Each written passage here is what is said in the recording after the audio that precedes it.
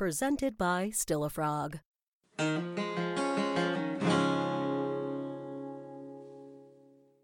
She'd driven the 253 miles to her father's 70th birthday celebration. The wind and the tires humming together, the song of the American road that she'd known almost from birth. Soothing, but at the same time exciting. Four hours alone, with little to do except contemplate the bedlam that was her family dynamic.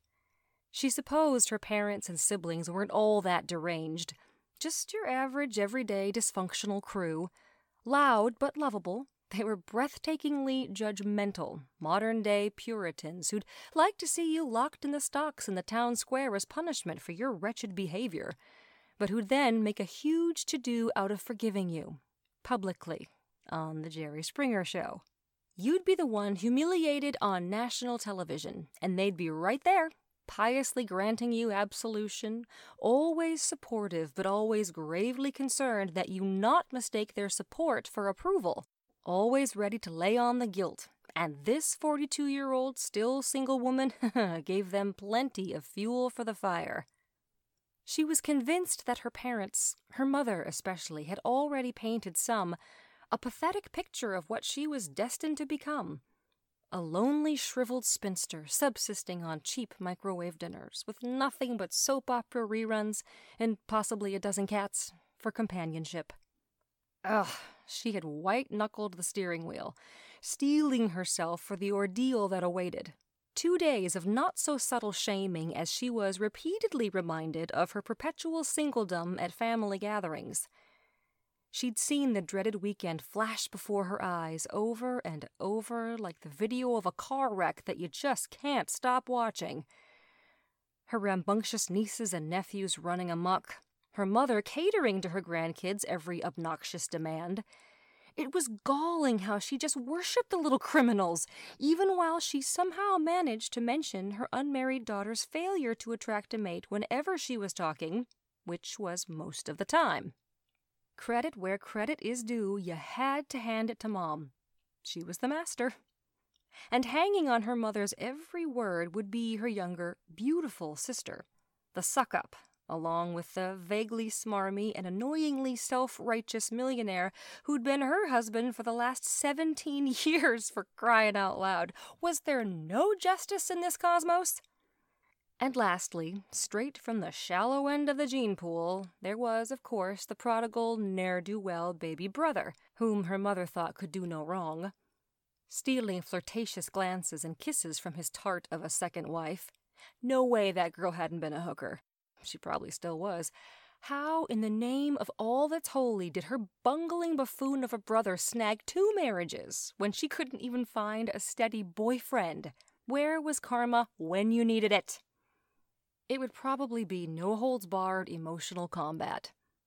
But maybe not. She could always hope, which she did, for all of about one second, until reality rudely elbowed its way into her daydream with the central fact here she was again, showing up solo. No date at the dinner table for this girl. Oh, sure, there was Mr. Possibility she could have roped into coming. Actually, he seemed more like Mr. Meets the Criteria, but where's the chemistry? And he'd volunteered. But if she'd brought him, it would have been just for show. Plus, she wasn't sure if he'd really meant it when he made the offer, or if he was just being polite. I mean, after all, they'd only had two dates, and strange dates at that. It had started interestingly enough. His online profile revealed a decent man, a divorcee with full custody of two teenage sons, a devout follower of all things related to college football, and, oddly enough, an avid reader of Eastern philosophy. She could have gone a lifetime without ever hearing a single word about either subject, but he somehow managed to make both things seem almost interesting. Or at least not eyes glazed over, slack jawed, just shoot me now boring. And despite his busy days as a financial consultant, he was also caretaker to his recently widowed father, who was suffering from Alzheimer's. Jeez, what a solid, decent human being. It's too bad we're just not more alike, she mused. But ultimately, it was his love of family that won her over. not exactly a Bridget Jones movie, let alone Fifty Shades of Grey. In fact, it wasn't even the stuff of a grocery store romance novel. What it really felt like, more than anything else, was that she was being courted, clumsily, by a thoroughly decent professor who could put a class of sophomores to sleep within seconds.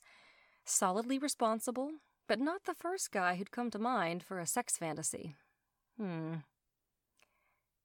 So, after three marathon phone sessions covering Confucius, Crimson Tide football, family heartbreak, and all things in between, they agreed to meet at a local Italian bistro and on a Saturday evening. Yep, the one night of the week officially reserved specifically for bona fide romantic dates. She applied just the right amount of blush, dabbed perfume on both wrists, and strategically in the cleavage, just in case, and she stepped into her new black pumps. She'd spent way too much for them. Amazing how a salary that looked substantial on paper was never enough. But the shoes were worth every penny she paid for them. The perfect mixed signal, proper elegance, and blatant seduction. Even so, things didn't feel quite right. Part of it was that she did not have the usual first date butterflies. But there was something else something beneath the surface that she couldn't quite put her finger on. It wasn't dread, not doubt, resignation, maybe? Nah.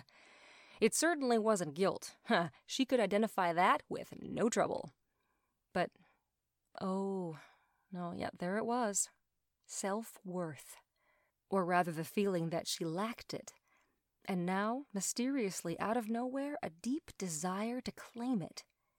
Barely an hour later, she sat across the red and white checkered table from Mr. Possibility, ruby colored Chianti and romantically flickering candlelight between them.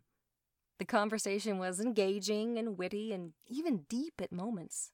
He was lovely and kind. She felt charming, and she knew he was taken with her. So, for a few fleeting seconds, her mind darted to the granny panties as she tried to shake the little pangs of regret that she was now beginning to feel for wearing them. It had been a hasty decision, but she wasn't taking any chances.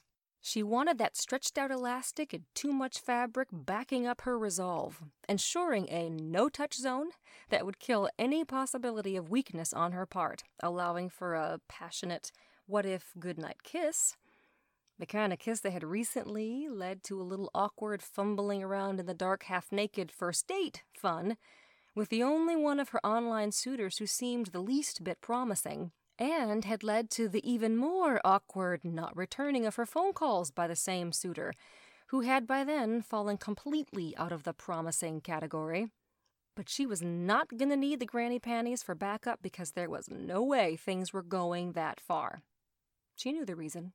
It was the same thing she'd felt before they met that vague sense that she was somehow unworthy. But why? It wasn't that her apartment was in shambles or that her credit card debt was. Uh, what's the word? oh, yeah, impressive.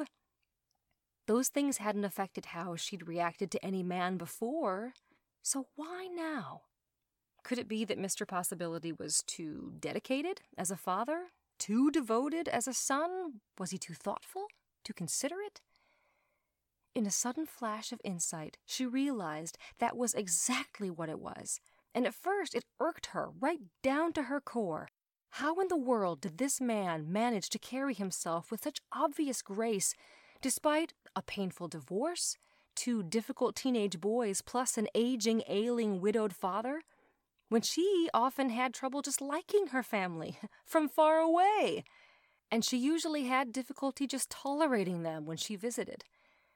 It was as if this handsome man was holding up a much needed mirror for her. Not intentionally, he wasn't even cognizant of it. But without realizing it, let alone meaning to, he was reminding her of all she'd never been for her mother, for her family, for the men who'd come before him, or even for herself. And in that moment, it had hit her that she dug him. She really dug, and he dug her. But digging the guy was one thing, having a relationship with him, something else. Was it even possible with a man whose whole way of life seemed to highlight her most glaring faults? If it was, then what needed to change? And what was she afraid of? Did she think that he had already outgrown her, long before they'd ever met, simply because of his quiet determination to live a certain way, come what may? Or was she simply outgrowing herself?